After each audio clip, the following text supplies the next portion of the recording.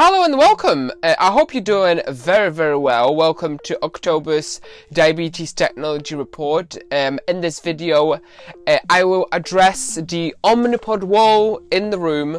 Um, oh my god, I am so excited about it. Uh, but we will get there. We will get there. Just hold on. I will talk about it at the end of the video. Um, in this month's video, um, we talk everything tech uh, that happened in October, and this includes Tandem announced that they are working with Abbott to integrate the Freestyle Libre system with Tandem's insulin pump. Dexcom G6 Pro has been approved in the US. Dexcom also launched an online support tool called Product Support Request so you don't have to call them, and more. Diabetes technology, artificial pancreas, implantable CGMs, insulin pens, closed loop systems. We are not waiting. Okay, so let's start with the biggest uh, tech news this month. My Omnipod Wall, no, I'm just joking. Tandem working with uh, Freestyle Libre. On 15th of October, Abbott and Tandem announced they are working to integrate their devices. Abbott's senior vice president said in a press release, We are ensuring our products have interoperability, creating a cohesive ecosystem where people with diabetes can manage their condition across devices from us and other companies seamlessly. So currently, Tandem's insulin pump T-Slim X2 only works with Dexcom products, with Dexcom G5 and Dexcom G6. Now Tandem wants their pump users to have a choice between a Freestyle Libre or a Dexcom. Tandem's special approval allows for reliable and secure communication with compatible external devices like Abbott's next generation Freestyle Libre system. This press release has not specified which generation of Libre would work with Tandem's pump. We learned that Abbott and Tandem are currently in discussions regarding a final agreement for the technical implementation of device integration and associated commercial support activities. It is greatly summarized in this statement. Our companies share a dedication to helping expand the available treatment options for the diabetes community so that people can experience the benefits of automated insulin delivery systems using a combination of devices they feel best meets their individual needs. Next up, Dexcom G6 Pro. Um, so Dexcom G6 Pro um, has just been approved by the American FDA. Um, this time last month, I was talking to you about the European approval of a brand new CGM from Medtronic, which is also a Pro um, CGM. Similar to Medtronic, G6 Pro collects data about your glucose levels and sends them to the healthcare professional for monitoring and analysis. Now, interestingly, Dexcom G6 Pro um, has a uh, mode called unblind mode. All Pro CGMs are what we call blind CGMs because they don't show any values to you, just to the healthcare professional. But it has an unblind mode, uh, which shows you values just like with a G6 system. And um, G6 will hit your clinics in Q1 of 2020. Do you get it? I have a new saying now where normally people would be like, it's gonna hit the shelves, but it's not gonna hit the shelves because this is healthcare. So it's gonna hit your clinic in Q1 of 2020. Please give me a thumbs up for that. Now some Omnipod news. Now, uh, not nothing to do with my wall, not yet. Um, Omnipod has been approved with FIASP in the US, so you can now use FIASP rapid acting insulin in your pod in the US. It was approved in Europe with FIASP this time last year, and it is now approved in Europe and the US. If you want more information about FIASP or Omnipod, please speak to healthcare uh, provider. And lastly, Dexcom launched a really cool feature which allows you to report any potential issues that you may have with your uh, CGM and request a callback so you don't have to call them and um, be on the phone they will just call you back when when the next person is available or you know that kind of stuff so which i think is very useful um, it probably easier than calling just filling in a form online so if you want link to that website i'm going to put it in the video description So those are your diabetes updates. Now uh, I've got a couple more things I wanted to talk to you about. So we're just gonna have a small chat. Get your tea ready. Um, and so first of all, uh, you're watching this in November.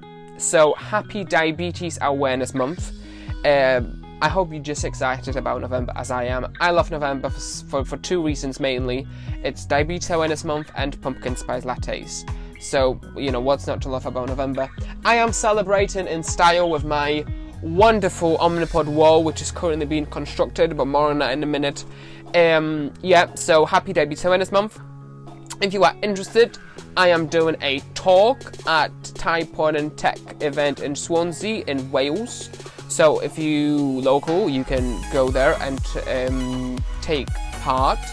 Uh, I'm going to put links in the description. But also, if you cannot make it uh, physically, you can make it virtually because the entire event, including my talk, will be live streamed on YouTube. So uh, as soon as they have a link, I'm going to put it in the video description, or you can just Google it. Um, so you can watch it live, and I think the recording of it will be available on YouTube afterwards as well. Although I don't know, I think so. So uh, I'm very excited about it. So tune in to see what um, my favorite diabetes apps. Also, I thought I'd quickly talk about something called DQ&A. Now, I'm going to do a separate video on this shortly, but I thought I'll quickly mention it now. Um, so, uh, DQ&A, which I believe, I believe, stands for Diabetes Questions and Answers, I think. Um, so, um, it's a company which is all about basically collecting our feedback and so I've been using them for two, like two years at this point, since they launched in Europe, basically. I think I was there since the very first survey in Europe. Um, and so uh, what they do is they basically sent out a survey with questions. And so in the UK, well, across Europe and Canada, they sent one survey every like six months and every three months in the US. And each survey has questions about things like um, maybe products that you use, like a CGM, meter, pump, maybe medication, um, or like future medication, or healthcare in general, you know, all things diabetes related, you know, all things that we have opinions on. And they basically collect that feedback from us about what we think about what's currently out there, what we would like to see, um, you know, what's good, what's bad, what's ugly, and they able they basically able to kind of capture that and provide that feedback to companies. So they know what we want to see what we think about what's out there. So i think that's a really meaningful way of kind of providing feedback to companies. If you want more details i've got a link in the description.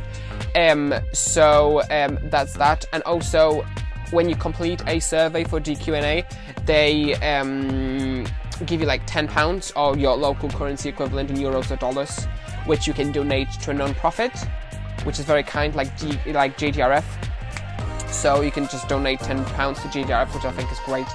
Um, they have they work with many many charities, so there's a list uh, on their website, which is also in the description.